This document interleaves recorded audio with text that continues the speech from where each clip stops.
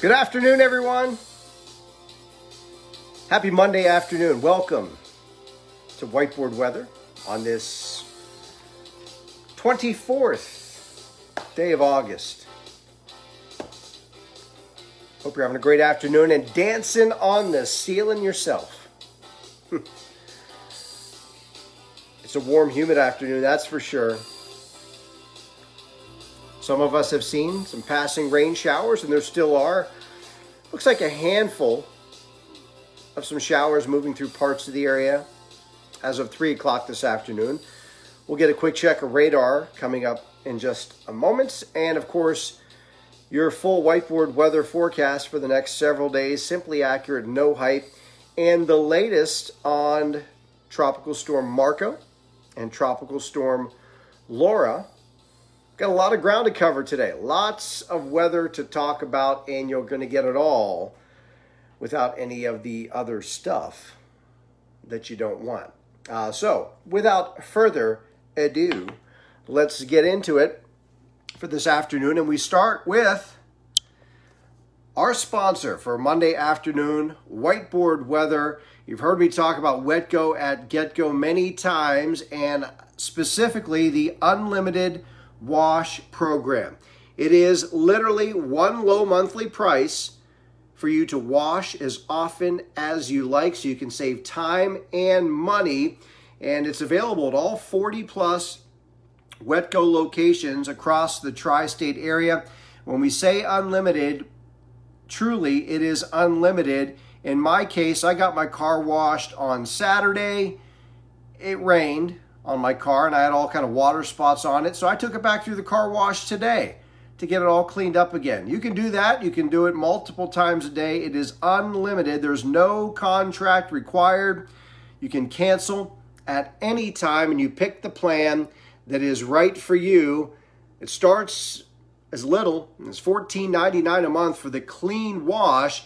If you purchase that one on its own, it's seven bucks.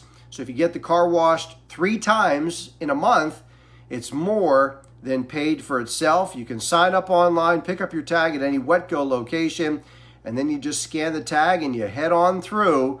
It is quick, it is easy, and it is economical. It is the unlimited wash program from WetGo at GetGo. So check it out at the WetGo near you. Now here's a look at current conditions across the area.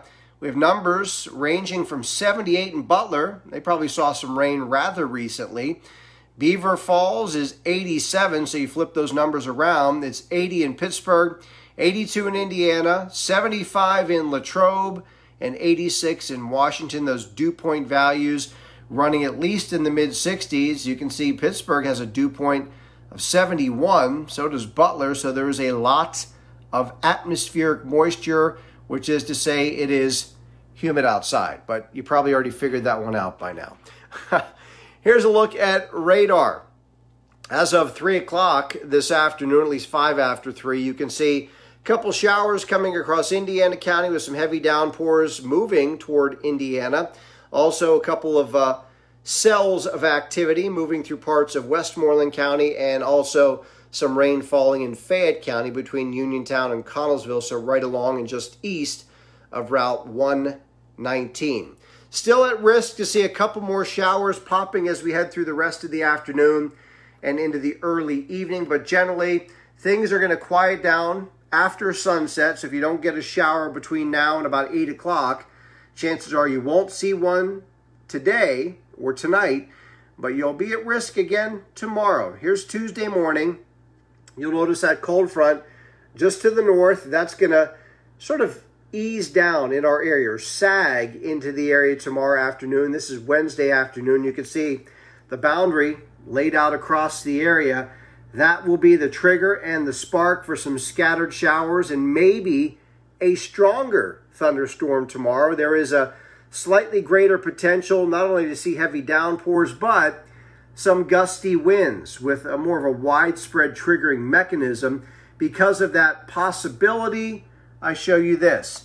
We are in a slight risk category, the yellow shaded area, for a strong to potentially severe thunderstorm tomorrow afternoon. Again, I think that would be probably between about 2 and about 6 o'clock would be the best time frame tomorrow afternoon. So FYI. All right, let's get the update on the tropics. First, starting with Marco. Now, the good news here is Marco is weakening. It is uh, really, it's being downgraded by this evening. It's probably going to be down to a depression. So it is a weak tropical storm or soon to be a tropical depression. What that means is it's mainly going to be a rainmaker. Not much wind here as it moves across southern Louisiana tonight and through the day tomorrow. So this is not going to be the uh, the daunting storm that it potentially could have been a couple of days ago. But again, it's going to produce probably an inch or two of rain across southern parts of Louisiana. Now, let me give you uh, the update on Laura. Let me pull up that information for you.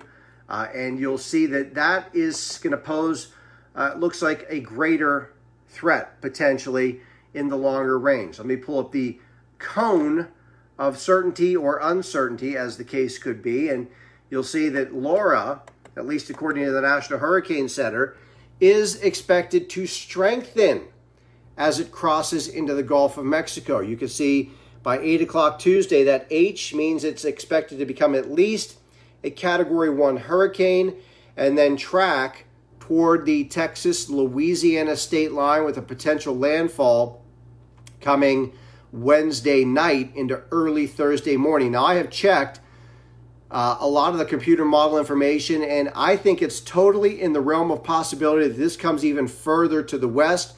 I think Galveston Bay is really at play here, so I would expect maybe a little bit more of a further jog west, and this could be a landfall in extreme southeast Texas before all is said and done. Something to watch uh, over the next couple of days. And then you can see the remnants will track inland and could be in southern West Virginia by Saturday morning, which could mean uh, a little bit of a beneficial rain, more of a widespread rain for parts of our area Friday night and early in the day on Saturday. Uh, of course, for local story, that's something to watch carefully over the next several days because, as you know, there hasn't been a lot of rain around here uh, this summer. Matter of fact, um, if I can recall correctly, I put this statistic up last night on WTAE. I counted all the days from June the 1st through April the 23rd, which was yesterday. And it was an 84 day period. And over that 84 days, this summer, we had seen 25 days with measurable rain uh, and a total of about seven plus, a little over seven inches of total rainfall. Compare that with last summer, same, time frame, June 1st through uh, August the 23rd, and uh, we had seen like 46 days with measurable rain, so almost three weeks more in terms of days of measurable rain, and the rain total was more than double, was almost 16 inches. Uh, so we're less than half, not only in the number of days, but the overall rain uh, last summer. So um, that was just an FYI. All right, let's hit up some national days and birthdays very quickly. Uh, born on this day, how about Cal Ripken Jr., Vince McMahon of the WWE, the man, the myth, the legend behind the WWE, uh, comedian Dave Chappelle, and actress Anne Archer. It's National Peach Pie Day today, and it's National Waffle Day today as well. All right, let's hit it up. Let's get our local forecast. Simply accurate, no hype. Uh, yes, I meant August 23rd was yesterday. Did I say the 24th? Today's the 24th. I knew that. If I misspoke, I apologize. Somebody pointed that out. All right, let's check it out. We're brought to you on this Monday afternoon by WetGo at GetGo. Take a look at that WetGo Unlimited program when you get a chance, or just swing on by a WetGo and get your car washed Speaking of which, I've been authorized by the fine folks at WetGo to start giving away some free car washes, singular car washes. So stay tuned for that over the rest of this week. You want to get your car washed for free? I'm going to hook you up. Compliments of WetGo at GetGo. Sunset tonight, 8.05. Sunrise tomorrow, 6.39. And we're still waxing our crescent with regards to the moon phase. Again, Tropical Storm Marco is weakening, likely to be downgraded to a tropical depression by this evening, and it's going to be mainly a rainmaker for Louisiana. Tropical storm Laura is going to be strengthening, likely to become a hurricane in the next 24 to 36 hours, with a landfall near the Texas Louisiana border Wednesday night, uh, potentially as a Category 1 hurricane at the least. Uh, all right, here's a look at our forecast here at home tonight. Still going to leave in the chance of a spotty early evening shower. Otherwise, partly cloudy, a muggy night, 69 the low temperature. Tomorrow, clouds and sunshine. It's going to get a bit breezy at times tomorrow afternoon, 86.